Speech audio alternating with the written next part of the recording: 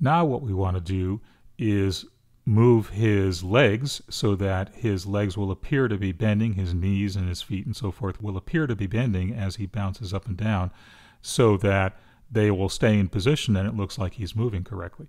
Now to do that, what we need to do is establish rotation keyframes for those different sections so that they appear to actually be staying in place, at least the lower parts here, while the upper parts are moving in conjunction with his torso.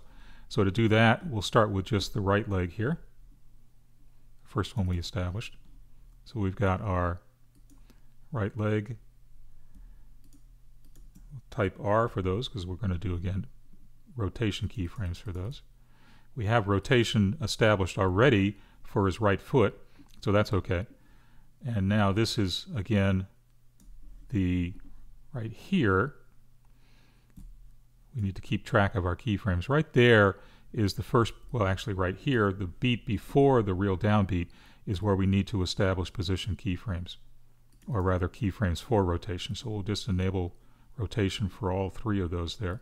They're still selected, so we get a rotation keyframe for those guys. And we've got one for there as well. Okay, now we move to the next beat place where the torso moves down, and we go and we adjust the position, or rather the rotation, strictly speaking, of each of those elements so that they will position themselves correctly. And that's why we put these guides in here, because now we need to make sure that we move, let's grab our rotation tool, that we move these elements so that the foot ends up in the same place it started out at. We're going to, to do that, it's really a kind of interactive process. We need to just kind of adjust stuff here.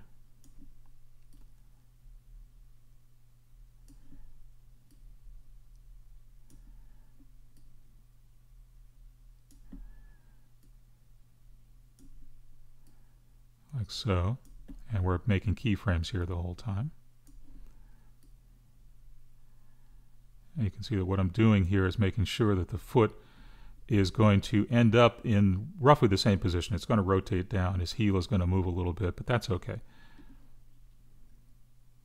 So now what we should have, we have something that actually looks like joint movement.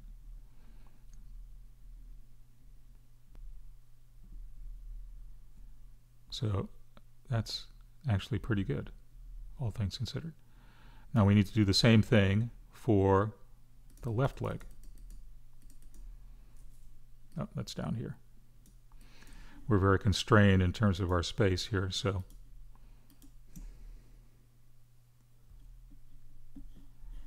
Now we need to go back again to that first keyframe that we've established and establish our initial position. So we're going to do keyframing for those three legs right there. Because they're all selected, clicking the rotation keyframe enable is going to enable it for all three of those. And now we'll move ahead to this position and do the same thing that we did before with the left leg.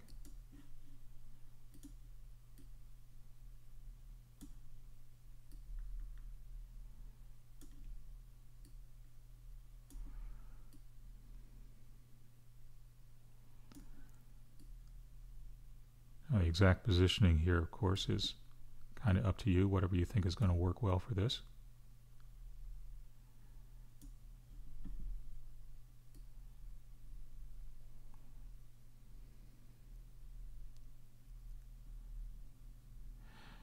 Now you can see that what's happening here is that because we don't have the legs going back down, as he bounces back up, the legs are staying where they are. So now we need to do the original position keyframes again for all of those elements in order to make sure that he goes back to his original position. And we can do that just by copying the keyframes here that we made before. So again, let's scroll up here. Makes this a little bit easier if we have a little more room to work with. So here's his next torso position. Let's grab this leg keyframe, copy that, and paste it. That'll straighten that out. do the same thing with these others here. Just grabbing these keyframes. We have extra keyframes here because that's where his foot was rotating.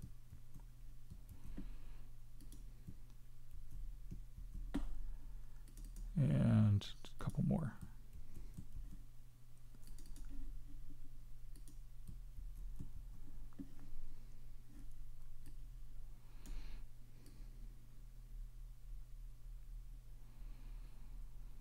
So we've got a little bit of a slide there, but that's okay. Now again, for the remaining keyframes for the torso animation, which we've got, see there's one here, we need to now just go back and make sure that we grab those keyframes that we established before for everything,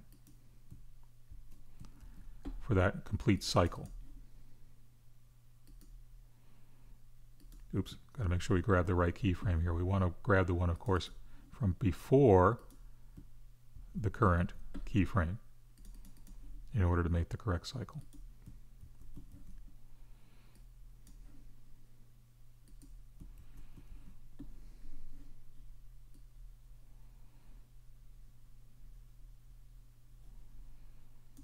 And we have one more torso keyframe up here. Yes, there is.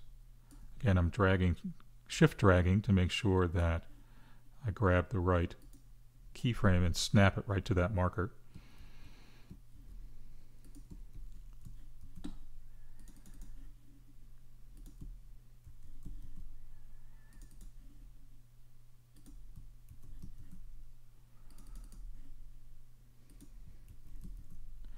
Now this process of copying, oops, didn't mean to do that. Let's get back to the composition. I double clicked on that layer and that opened up that layer by itself. Now that process of, did I miss one? I did. You got to make sure that you keep track of your keyframes here. This process of copying and pasting the keyframes that we've established previously for our cycle is one that we're going to use to basically make this entire animation. We're just going to loop this by copying and pasting all these keyframes here, which I won't do in real time. But that's going to be our process. Now let's just see where we're looking at here so far. I'm going to pull out here, scroll this down a bit, and let's see what he looks like so far.